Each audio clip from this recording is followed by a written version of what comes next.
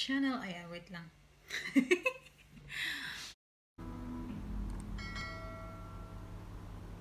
Hi guys! Welcome to my channel! So, I miss filming myself guys. So, this is the um, from ano yung last na ano ko, yung sa ating last na filming ko is yung sa ating April Fool's na ano, kailan ba Two weeks ago. So, ito yun guys. So, na-miss ko mag-film. So, naisipan kong gumawa na lang tayo na mag-experiment tayo ng DIY lip balm. So, may nagawa ko kanina. Kaya lang, nagpalpak siya. So, na-fail yun siya. So, panoorin nyo dyan. Yan. Ang ginawa ko kasi dyan, hinalo ko yung um, 2 teaspoon ng petroleum jelly at saka beetroot na powder direkta. So, tapos, ang ginawa ko, kasi hindi siya mahalo, meron pa siyang yung beetroot hindi natutunaw. So, kaya ginawa ko, nilagay ko sa microwave for, oh, I think, ginawa ko siya 10 seconds first, and then hindi siya na ano, then 20 seconds, and then another 20 seconds. So, nung last na na 20 seconds, na ano na siya nanigas. So, parang hindi siya nag-work. So, kaya ngayon, ang gagawin natin is, kailangan natin ng mainit na tubig. Ayan, bagong kulo po yan siya. Yan po yan siya, guys. Yan. Yan po ang pantunaw natin sa beetroot. So, So, ang gagawin natin ngayon is tutunawin natin muna yung beetroot. So, kukuha ako dito ng dalawang teaspoon. Isa na lang, isa, okay? I, want, I don't want to, ano, parang, parang naman masaya. So, gagawa tayo ngayon. Tapos, lagyan natin siya ng mainit na tubig. So, dito natin siya. Meron pa akong panghalo, yan. Konting mainit na tubig lang po, kahit patak. Yan, kahit kung patak-patak lang po siya para hindi po. Okay natin siya tunawin. Yung beetroot powder. Yan. Yan po siya. Yan, malabas yung kulay kasi pag tinutunaw mo yan siya. Yan. Yan po siya, oh. Tingnan niyo yan, guys. Di ba ang kulay? Ano siya sa ano? Gumawa ng ah, mga product na. Ha? Gusto niyo yung mag-natural, ano. Maglalast po daw ito is, ano, 6 months. Ayan, ulitin natin. Kasi meron po siyang, yan po yung na black. Alam mo yung black? Yan po yung pinaka-ano ng beetroot. So, ang gagawin natin, parang dinidiga lang natin yan. Pinipiga. Yung ginagawa ko. Yan, parang ninaano ko yung kulay, guys. Kinukuha ko lang yung kulay. Ganda ng kulay. Tingnan nyo, di ba? Yan, parang super dark. So, kailangan ko ng wipes para laglagyan itong parang excess po ng beetroot. Parang kinukuha ko talaga yung ano, piga. Yan. Ang ganda talaga niya, guys. Kasi ayaw natin naman matigas sa ating lipstick. So, naman ilalagay ko muna ito dito, okay? Yan. Lagay mo natin. Yan ang kulay black. Yan yung ano, pinaka-ano ng beetroot. Yan. So, yung natira, guys, ito. So, ilalagyan natin dito ng, guys. So, ito, guys. Ilahalo natin dito, ah. Palay mo, ha. Palay mo. Yeah, alam niyo naman experiment. Yan, may natira po dyan. Ayan, konti lang po. So, gagawin natin is lalagyan natin siya ng 1 teaspoon na ganito.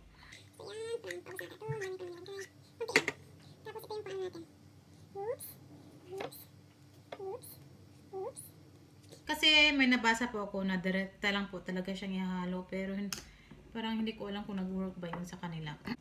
Kasi parang sa akin hindi naman siya nag-work pag hindi po siya itutunawin yung beetroot na powder. Yan. Yan po siya. Hinalo na po natin. Ihalo ko lang po ito ng maayos. Gusto, gusto ko siyang dagdagan. Alam mo yung kulay niya? Yan. Yan. Yan po yung kulay niya. Ang ganda po. Gusto ko siyang dagdagan. Dagdagan ko nga siya ng ano. Another. Naubos na ito eh. Depende na yan sa inyo. Meron pa na akong kukunin ko yung isa. May backup. Yan. Lagyan natin yan siya. So, ito guys. Yan.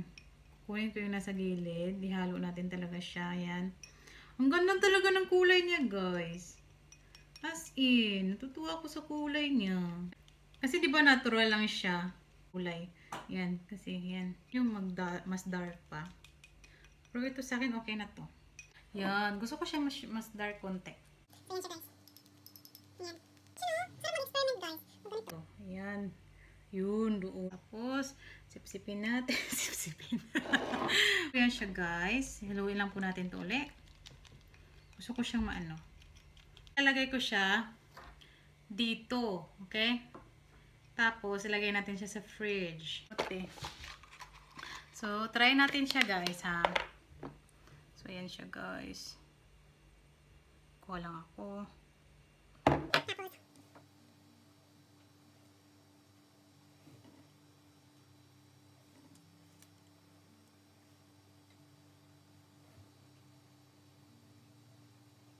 Ayan. Gusto ko talaga yung kulay.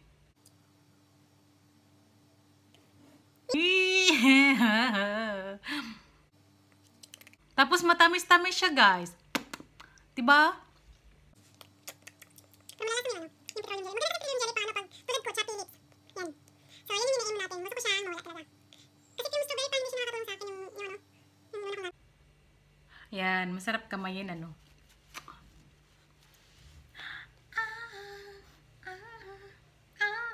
So, ayun, di ba? So, ngayon, hindi ko na kailangan mag-lipstick. Ito na lang. so, ang gagawin natin, guys, ilalagay natin to dito. Okay? Uso ko kayo. Mm. Yan. Kasi ang camera natin is cellphone lang. So, ayan, guys. Ang gagawin ko, ilagay ko siya dito. Subukan ko siyang ilagay dito, guys. Dito. Ayan ko siya. Ayan guys. Tandahan talaga ano. Tapos, ang gawin ko, uso ko siya ng konti. Yan. Yan siya. Tinusog ng konti. Ito yung parang cherry yata nila.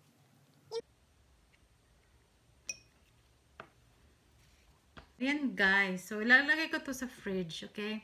Pag tumigas na, saka ko siya kukunin. Sura niya. Ah! So yun, nilagay ko talaga siya sa fridge guys. So mamaya, titingnan natin siya. So meron pa siyang natira doon sa...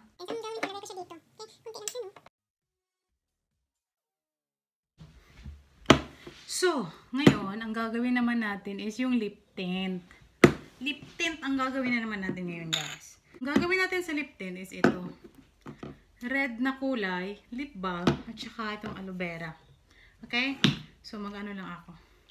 Puro aloe vera yung nasa bahay. Sanitizer ito eh.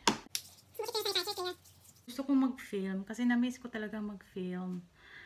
Yun ba, si Haring Araw. Ano, alam mo yung lightning ko, si Haring Araw talaga, oo. Gusto ako ni Haring Araw ngayon ah.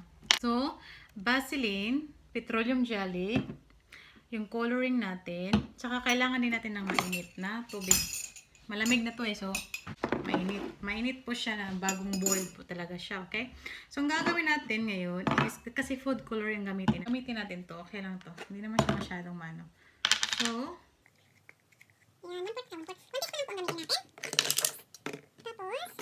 natin. Siya dito gamit ang ating spoon.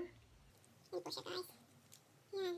Pag gusto nyo wala ng beetroot, pwede rin. Pero pinonexperiment ko yung kulay. So, lagyan ko siya ng mainit na water, guys. Okay? Yung vaseline natin. Para matunaw siya ng konti. Ayan. Tapos, halo-halo natin. Kailangan na siya halo-haloin ng maayos. Yan. Para medyo matunaw-tunaw siya. Ayoko na siyang ilagay sa microwave. Kasi nga. Yan pa natin. Kasi nga, naninigas talaga siya. So, So, ito po yun siya. So, meron kayong steamer. Pwede kayong gumamit ng steamer. You can use steamer. And then, you can put the uh, water, hot, uh, hot na, ano, bowl. Like, I think that's stainless. You can use clear na, ano. Yan. So, yan. Medyo ganyan na po yan siya, guys. Parang medyo na ano na po siya. Yan. Nag-iba na po yung texture niya. So, hindi na siya katulad nung una. So, it's different texture now. I'm gonna add more. Kita mo. Nasaktan mo sa bibig ko. Di ba? Mm. Mm. Meron tayo sa ano, yung kulay ng beetroot. Gumawa tayo guys, pag may time kayo. Kasi nakaka-isip na siya. Parang, oh, ang sarap naman ganito. Magawa ng mga eksperimento. Yan, ano. Kasi yung una na ano ko, na ano, napalpak. So, ganun pala to. Ayan. Yan. So, okay na siya, guys. Lagyan natin siya ng food coloring. Mga, ano ba? Ilang drops ba? Maybe five? One, two, three, four, five. Yun? Tama na yun? Yan. Tapos halo natin. Yan siya, naghalo-halo. Halo natin siya, ha? Oh, ano kaya magiging ano nito? Sa expert. Oh my gosh!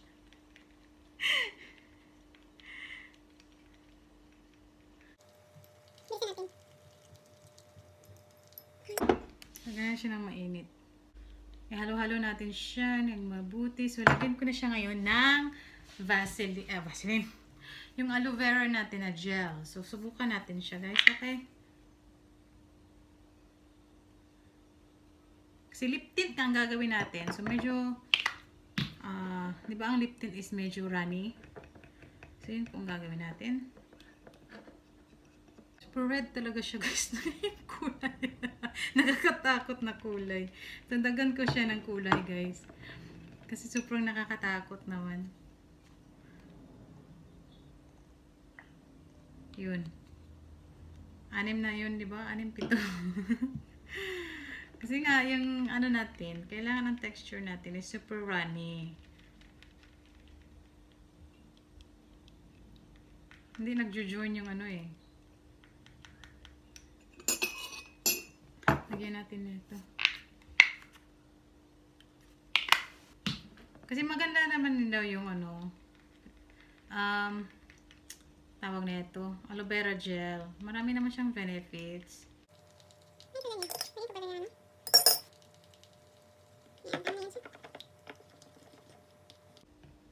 Natutulog yung ano eh, petroleum. So, so, yan guys. Subukan natin ha.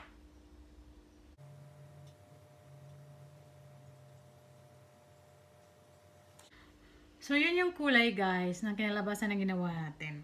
So, ito naman kaganina sa beetroot.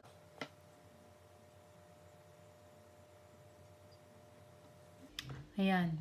Yan yung kulay sa beetroot. Okay? So, depende na yan sa inyo kung ano yung gusto nyo. Mas gusto ko itong beetroot. So, yan. Hindi, hindi humalo yung um, jelly sa kanya. So, ang gagawin ko dyan, ialisin ko yung ano, alisin ko ang petroleum jelly. Okay? Kasi konti lang ang humalo na petroleum jelly. So, ang gagawin ko is alisin para siyang tabi. Ang experiment natin ngayon na hindi nag-work. Joke lang. Nag-work po yung ano natin, yung lip balm na gawa ng petroleum jelly. Mas maganda talaga Vaseline, guys. I suggest Vaseline brand, okay? So, huwag niyo kayong gumamit nito kasi parang hindi po siya katulad ng Vaseline. So, siguro hindi siya naging successful. Wala na kasi ako neto. So, sinubukan ko yan. So, Vaseline is good brand. So, ang gagawin ko naman ngayon, wala na kasi tayong Vaseline. So, wala.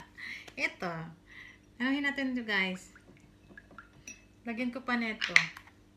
Kahit walang Vaseline, okay lang. Or, pag paghalo kaya ito, nakatatak. paghalo? Kasi hindi nagano eh. Halo ko siya guys ha. Doon. Yan. Yan.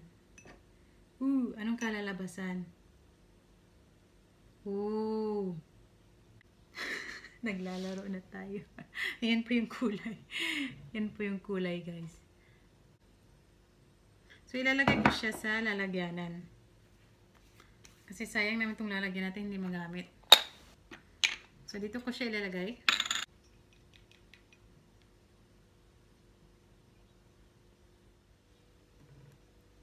Hindi talaga siya natatanggal ng ano, kahit wipe. So, maganda siya guys. Kasi nga, pag lumalabas kayo tapos kakain kayo, maganda siya. Beetroot lang po yun at saka petroleum jelly. Yung beetroot po natin is natural po yun. Wala po yung chemical, okay? Maganda siya, guys. Parang hindi na yata ito ma-approve itong pag-apply natin sa pangalawa. Diba? Subukan nga natin. Subukan lang natin. Yan siya, guys. Lip tint natin.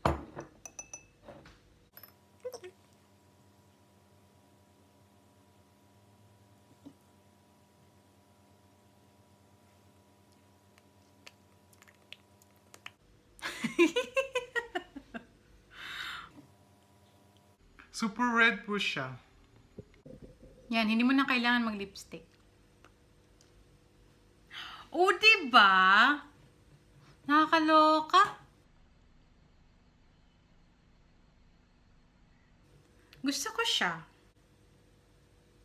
Masarap po siya sa pakiramdam. Yan, lagay natin dito. Ano ba yan? Bang pinagagawa natin yung araw na ito?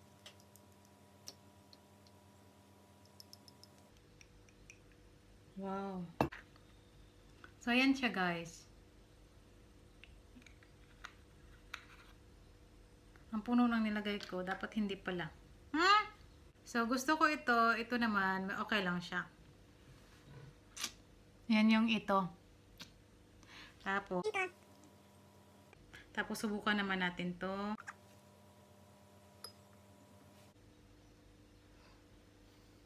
Yan. So, yan na guys. Tapos na tayo sa experiment natin. ito naman ito. Hmm. Okay guys, thank you for watching guys. So, I hope na-enjoy nyo po yun. Okay. Parang may naano yata ako ah. Ang hilig ko kasi mag ganito. Yan. Thank you guys for watching. So, I hope na-enjoy nyo po yun guys. So, Nasa sa inyo yan kung gagayahin nyo. Ako gusto na gusto ko po siya. So, ipapakita ko po sa inyo ang lip balm. Hindi po siya masyadong matigas, guys. So, ayan po yun siya. Pero, maano na po natin siya. Yan. Yan po yan siya, guys. Yan po. So, ayan po yan siya, guys. ito na, pero hindi siya nag-work na tumigas. So, ang gagawin ko is ililipat ko siya doon sa lalagyan natin, natin na maliit. So, ito guys, ito na yon Nilipat ko na dito sa maliit na lalagyan. Yan. Pwede na natin yan gamitin or gamitin nyo ng pang ano ng ano nyo, pang lipstick. Ganun. Pwede na po yan siya. So, mag-work po yan. Lagyan natin siya. Yan po. Kasi beeswax po talaga dapat pag ganun, pag lip balm po. Uh, pang gusto nyo tumigas na ganun sa ano lalagyanan. So, yan po. Okay na internet ito. Nag-work naman siya. So, okay na ito. Gagamitin ko po ito. Thank you guys for watching. So, I hope you enjoyed that one, guys. And it's up to you kung kagayahin nyo hindi. So, nasa sa inyo na yan siya. Ang madali sa akin is yung beetroot at saka yung petroleum jelly at saka beetroot. Kasi madali lang siya at saka mainit na tubig lang. So, tatlo lang. So, ito kasi masyadong ma, ano siya. Pero maganda naman siya sa lips, no? Okay. Either way, masarap po siya. Madali lang po kung hindi naman hindi niyo po kailangan mag-lipstick. So, yan guys, salamat po sa panonood. Sana ay wag niyo akong kalimutan mag-thumbs up and subscribe for more videos. Bye!